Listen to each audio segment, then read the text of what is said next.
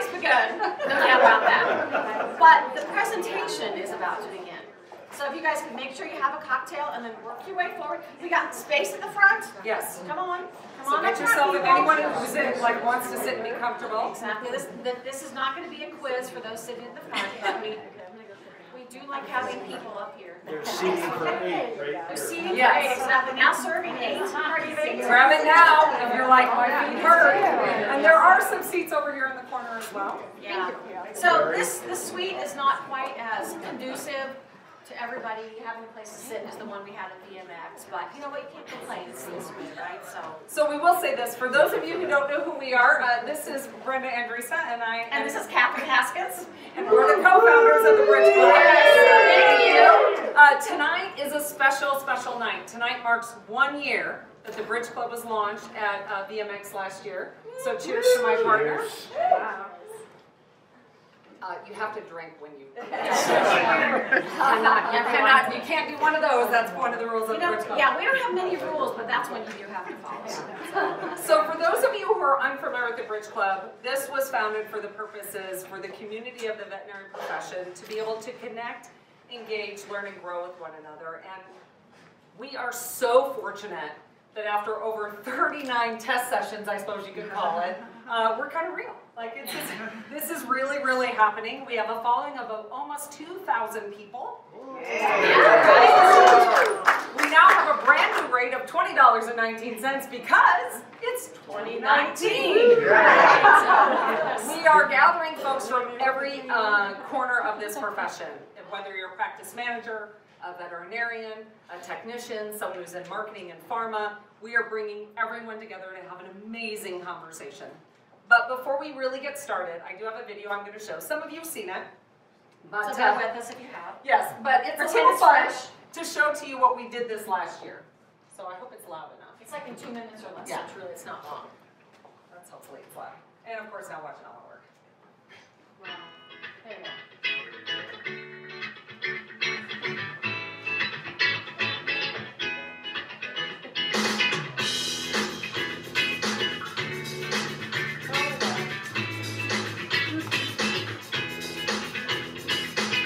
Been at AVMA, and we are very excited because we both get to get on an airplane and leave today. So we love Denver, Yes. but it's time for us to, to go off and do other things. You so gotta go home, you're lucky. I gotta go home. You haven't, yeah. You haven't do one. That's okay, that's okay. Right? It's what it is. But you rarely see us in the same room together, so ah! here we are.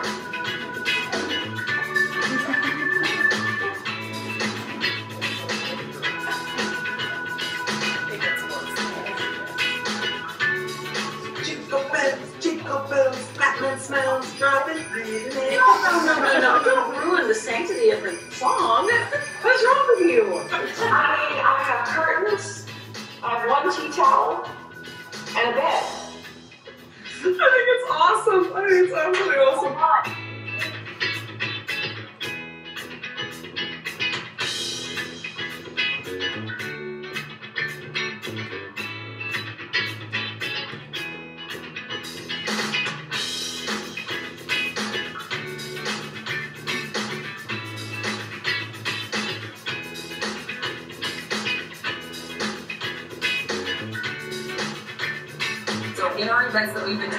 Doing live, we've been asking who could you have lunch or dinner with? And ironically enough, they want to talk to the leadership. They said yes. So these are going to take place, what we can tell you is both live and they're going to be online. So we're going to be creating opportunities for you to actually engage with the leadership of the industry. I'm gonna let this recording go because uh, we're just gonna have it happen.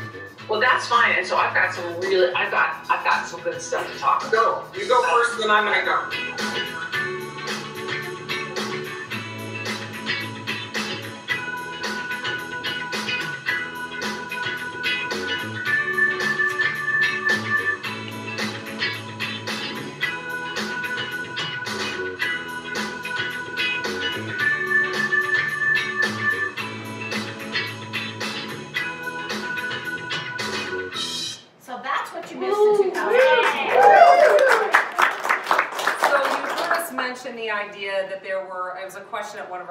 First events, and we asked people if you could have lunch or dinner with anyone in the profession, who would you have lunch with? And it was amazing to us that it was people like tonight that we're gonna be hearing from.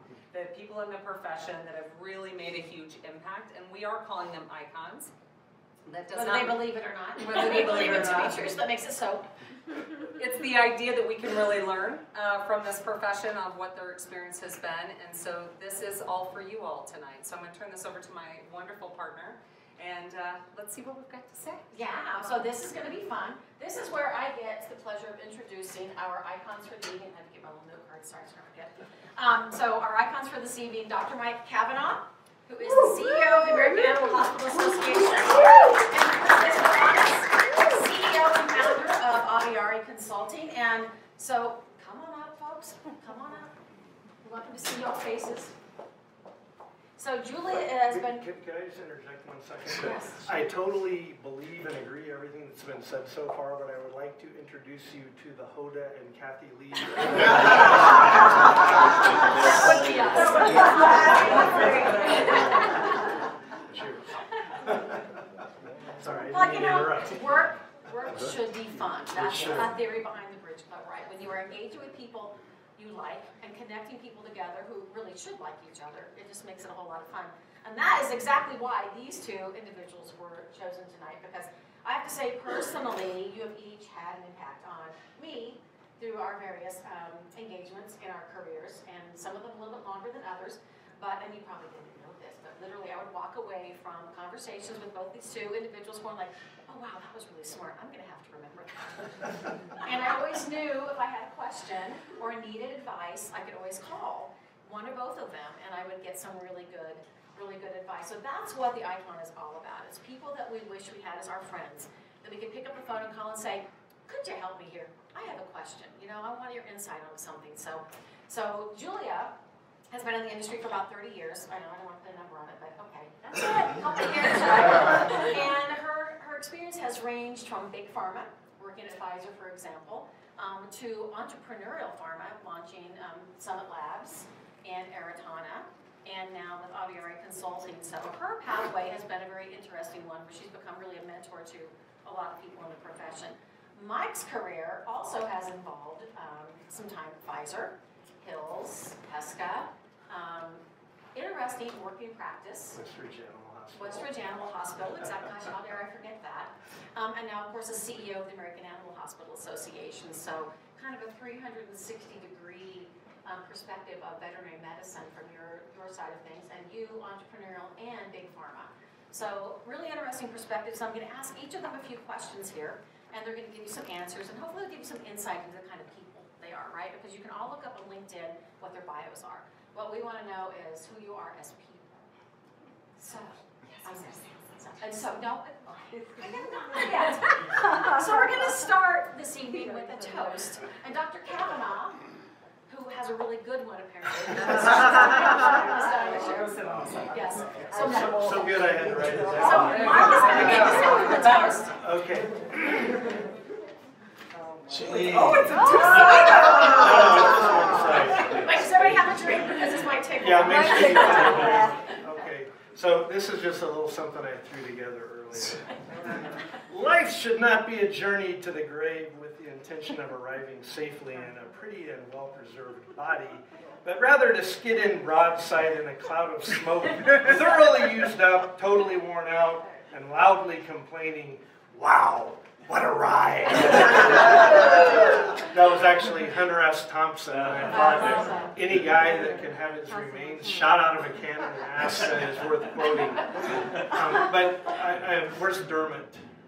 There he is back there. So Dermot knows I'm very proud of my Irish heritage, so I have to add a little toast in the end. Uh, may you be in heaven a half hour before the devil knows you're dead.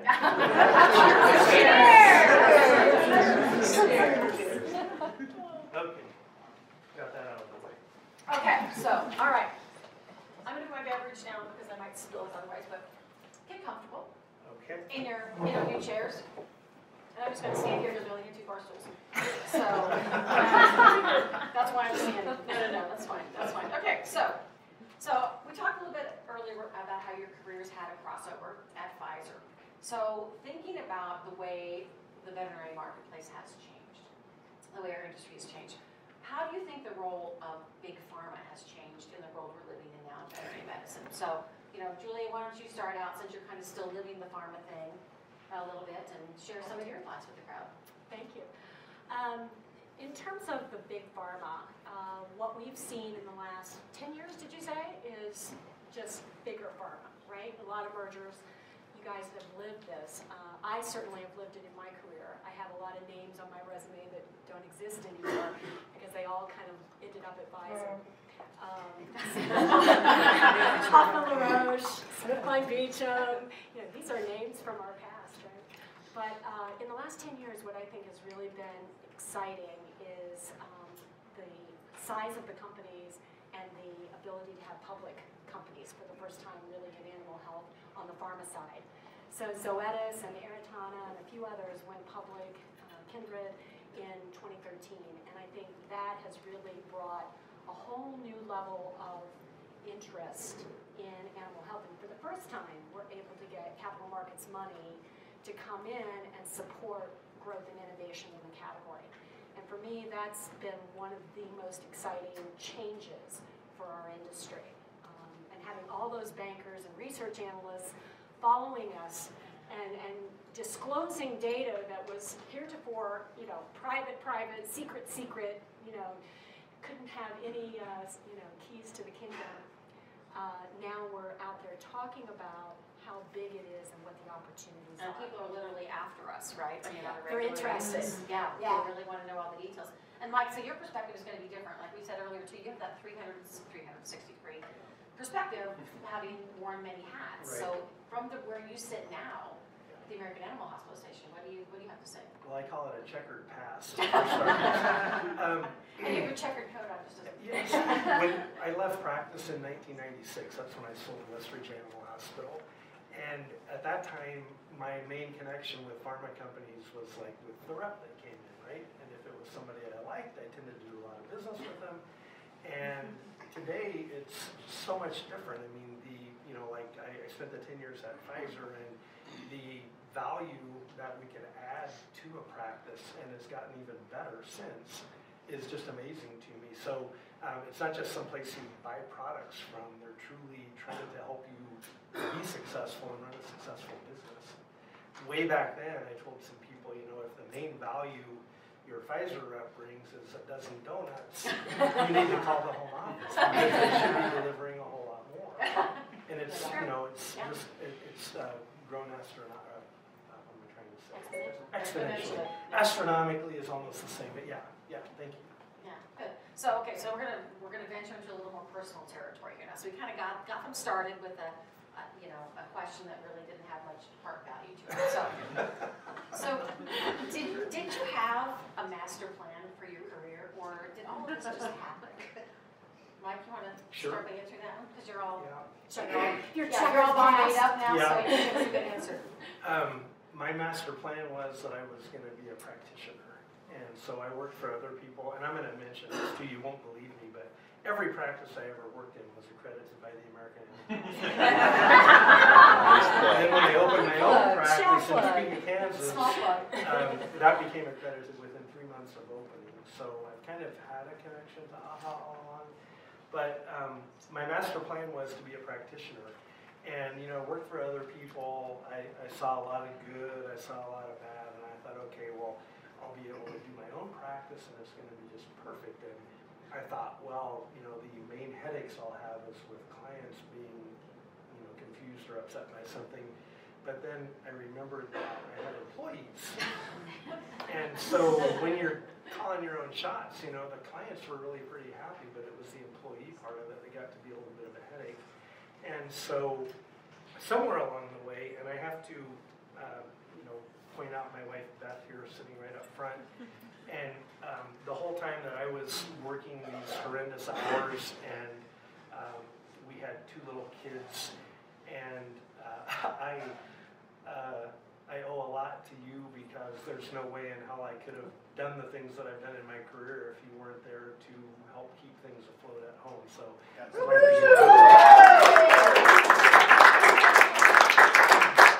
I'm Getting a little verklempt.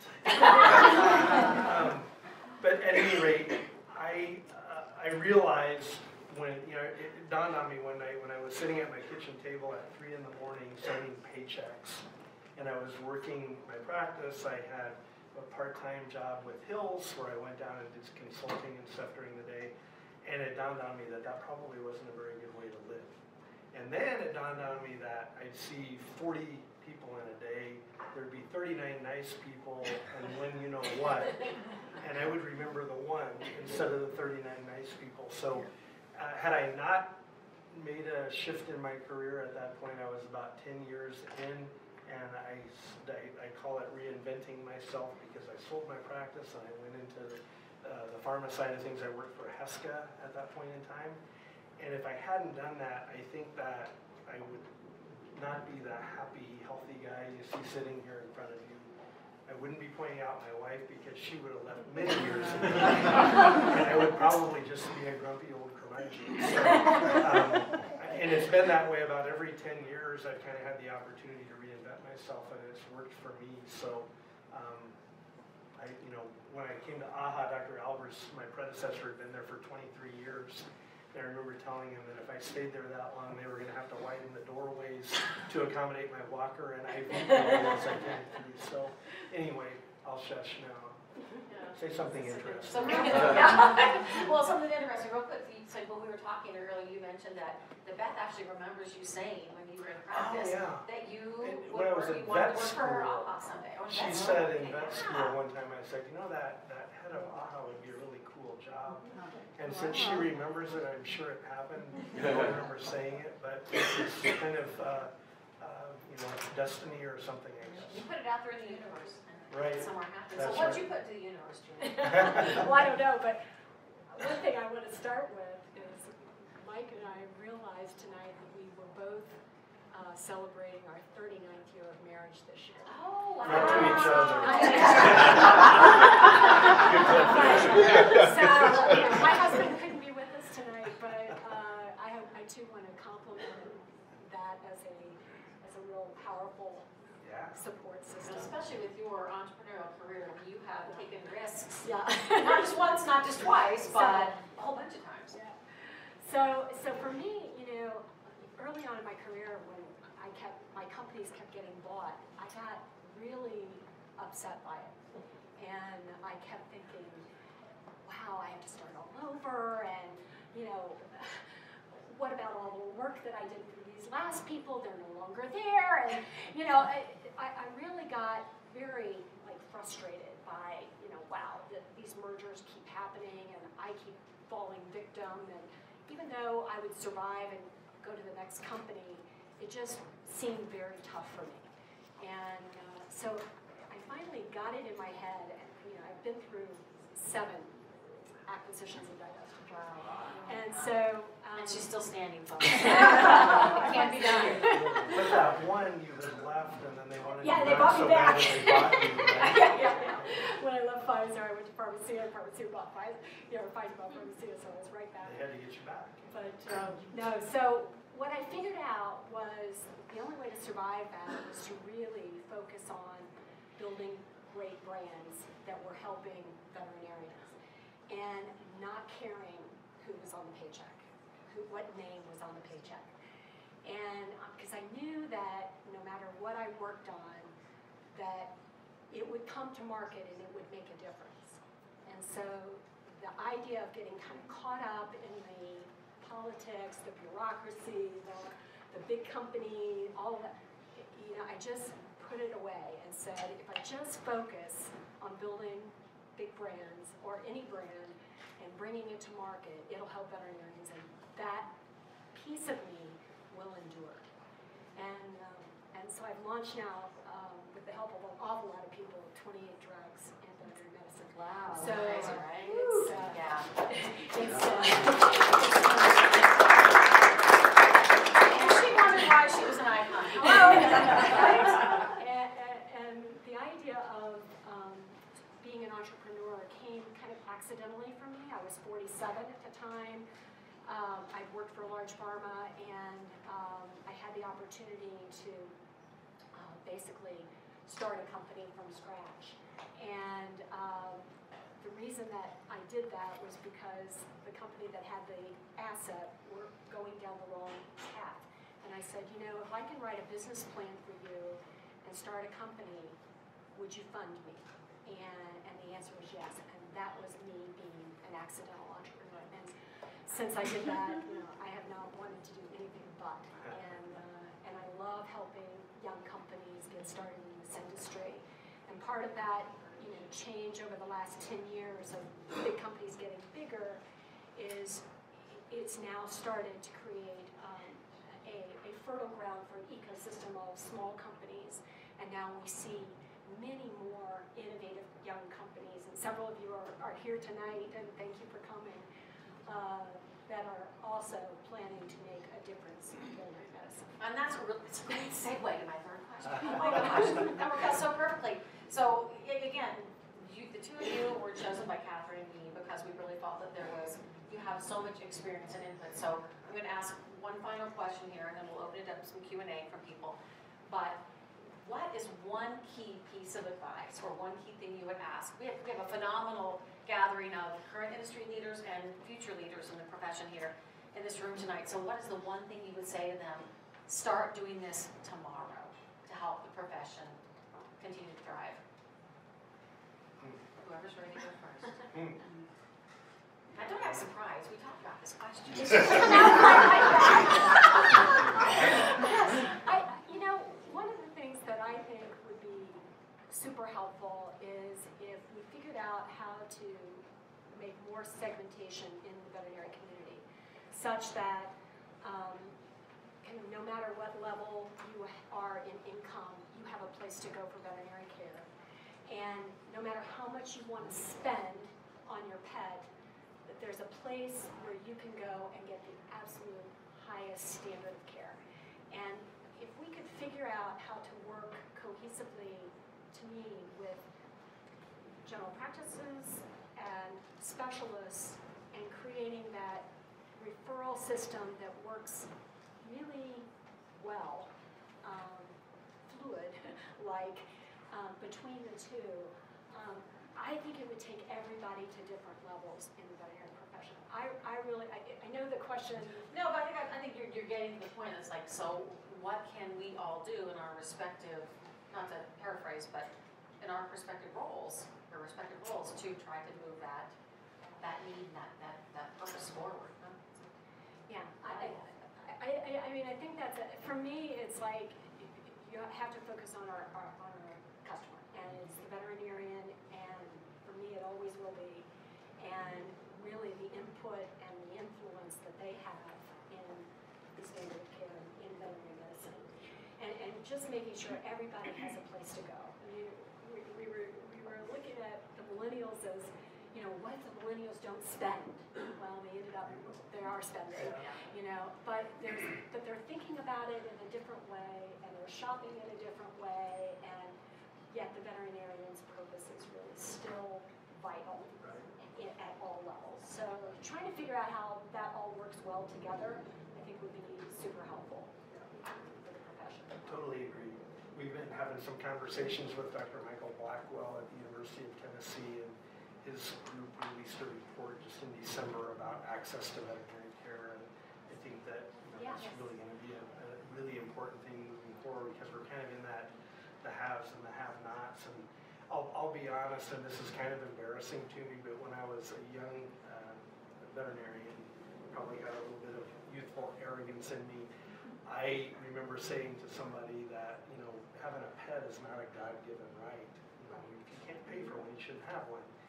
And then I was this, you know, Topeka, Kansas kid, and I spent a lot of time in New York City when I worked for Pfizer, and I would go out, and some of you remember my buddy Mike Wallace, I know you do. And Mike and I were in New York a lot at the same time, we'd go out, and we had this route we did through Midtown, and, and I would see the same homeless people, time after time after time. And many times they'd have a dog, or once in a while a cat with them. And after passing them by and just kind of observing and, you know, thinking and probably maturing a little bit, it dawned on me that that pet might be the one positive thing that that person has in their entire life. So um, I took a step back and said, you know, who the hell am I to make that kind of a judgment on somebody? So I truly believe that everybody should have access to care in, some form or fashion. But my one thing that I would share is way, way, way less grandiose, but it's something that I've observed in our profession. And that is that we can't be arrogant. And I know people, I interact with people who are arrogant in our profession, and if you want to make me turn away and not ever want to talk to you or do business with you, be arrogant. And the thing is, it doesn't matter who you are. I mean, you know, Kristen Peck is a great example. You know, she's got a fantastic job. She's got this amazing history. But if you Google arrogant, you will not see Kristen Peck's picture there, right? She is not. And the thing about it is, nobody cares. You know, we're such a small profession. And you, you take one step out of our profession and nobody knows who you are and they don't care who you are, right? And that's okay. That's totally okay. And I just, I feel really strongly about that. And when you told me, you know, it's like, well, you know, we want to do this because, you know, people brought your name up when we asked who they'd like to have a cup of coffee with. And I said, well, why don't they just call me? And I do that. You know, I mean, uh, I'll- I'm happy to talk to anybody, anytime. And And that's exactly what he said. He's like, really? Why don't you just call me? Well, that's right after I said, I think icon is like, that's what you tell old people. That's what I said. I was trying to get old people part out. So- So, Anyways, um, one, real quickly, speaking of not being arrogant, Catherine and I need to call out our, the sponsors who have helped the Bridge Club go into year two here now. So we want to be, um, give our, our most gracious thanks to Zoetis. Thank you, Mike. Um, Everybody from Royal Canin was able to make it tonight, but they're another organization that believed in us from the very start, so we appreciate that. Animal Policy Group and, and Mark Cushing um, is also giving us great support, and then of course Stevens and Associates, who is giving us another support. So um, I want to go ahead and do a quick your final toast, and then we'll open up for questions. I know some people have other things they have to go to, so I want. And the gifts. Oh, and the gifts, exactly. So we have a, have, well, let's, let's give a toast. Okay, everyone grab a glass. So the thing I love the most about animal health is that we are all either one separation or two away from each other. And that to me makes this industry, as well as the veterinarian as our customer, the best industry to be part of. And I never want to leave it. Here, here. Cheers. So we are gifting our icons with one of our phenomenally coveted Bridge Club mugs. Yes, so they're actually smaller in real life, so you're right, yes, absolutely. So now I know I, I would welcome everybody to have another drink. Does anybody have any questions for, for Mike or Julia that you want to put out, or did they do everything so eloquently? They have no questions? Ah, Carrie, yes. So, uh, this is, I'm a second generation AHA. My mother was a director. And I want to know, Mike, you've been, you've been really great about supporting innovation in the future.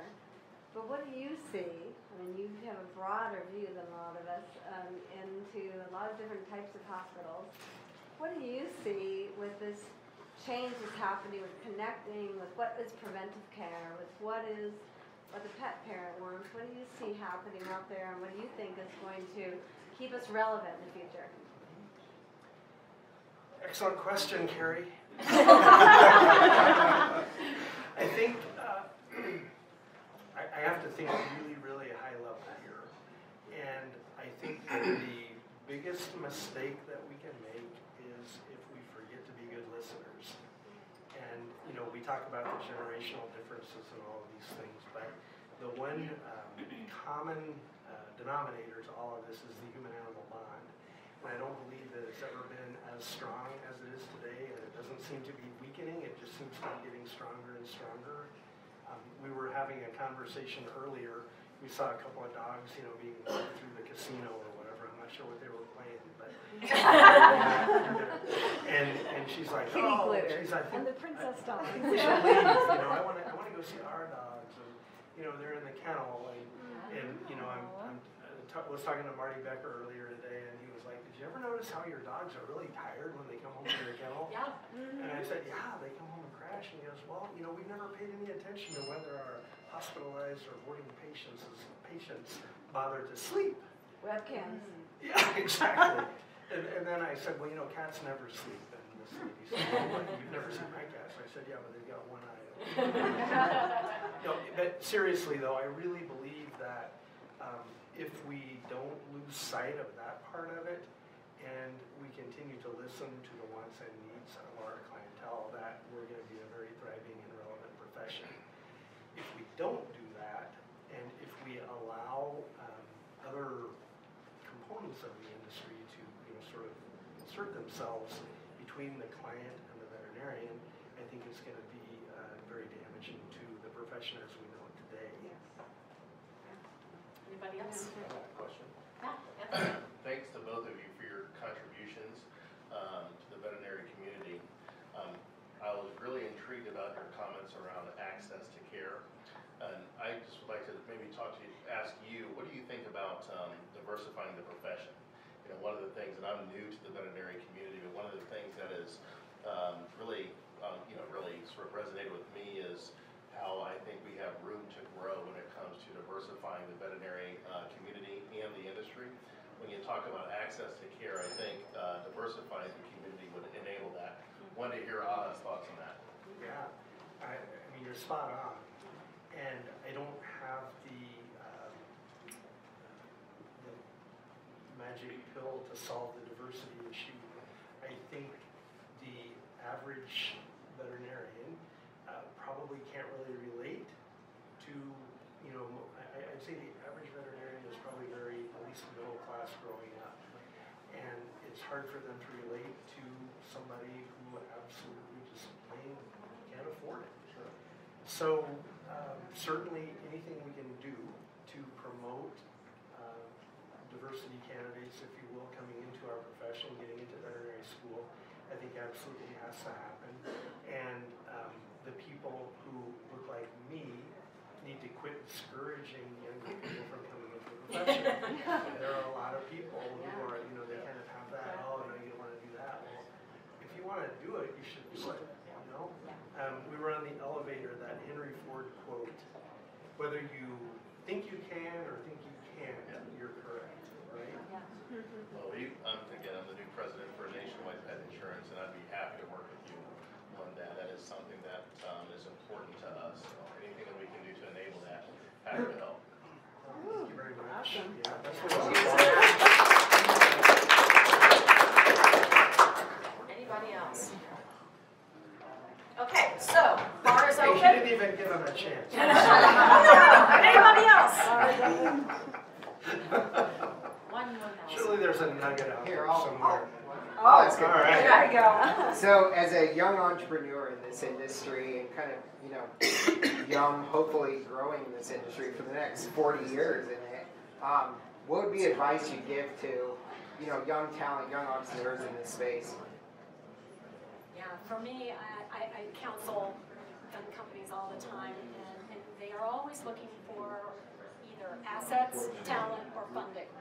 And if you have all three of those together, you can build a successful business. It, it, for me, it, it's, it's trying to find the right match of, of those things, and then connecting with companies that, um, that can really make a difference in your life, and that could be from funding, or it could be from a strategic exit, you know. I, I mentioned that I had never been an entrepreneur until I was 47. I could hardly write exit plan into a business, a business plan. It, it, was so foreign to me. I was like, what? You know, I'm gonna sell this business, I'm building this business to sell this business? That was foreign. You know, so trying to figure out what, what your valuations are and your inflection points and figuring out where you can end up placing your assets or your company or your business is really important to being an entrepreneur. And, and, you know, you're doing a terrific job in Kansas City with, uh, with your company, Ricarda. So uh, I, I think you could probably be sitting in this chair offering the advice. Just not old enough yet. When we were here, turns white. Yeah. Yeah, I have, I have this thing, you know, with the white hair and everything, that I'll have these brilliant thoughts and then they just like vanish. So I wrote a couple of things down here. Uh, These are, these are the things that I think you need to do. Um, Let common sense prevail, okay? I already said it, don't be arrogant. Do what you say you'll do, every time. Make sure you develop people. When I look back on my career, the most, uh, you know, heartfelt joy and satisfaction I get is when I see somebody that I've hired somewhere along the way that has gone on to do great things. So develop people. Um, remember that leadership is not a popularity contest. Jack Welch stole that one from me. remember to have fun. And remember um, responsibility, and I have to explain this just a little bit. Would you stand here and would you stand there? So, God, I have I'm worried. dream. Don't ask me to fall You- over and have you catch okay, me. you're a stimulus, right? Okay. You're a response. Okay, so say something stimulating. Um, Catherine, your hair looks amazing tonight. Okay. Thank you very much. That's So- what's stimulating. In this brief, I mean, microsecond between stimulus and response, I have the ability as a human being, and we're the only ones on earth that can do this, we can decide how we want to respond, right? So in this millisecond, then I say, why, thank you. I, I, I went to someone today and they fixed my hair. Call it in. But anyway, we have that millisecond. So remember response, response ability. You have the ability to take that fraction of a second and figure out how to come back. So sometimes that means you don't answer that email until you cool off. Right? Who's been guilty of firing one off? right. So you did not use your responsibility in that situation. So that's really important. And then finally, I would just say, remember, you gotta have fun. Yeah, Everyone, my final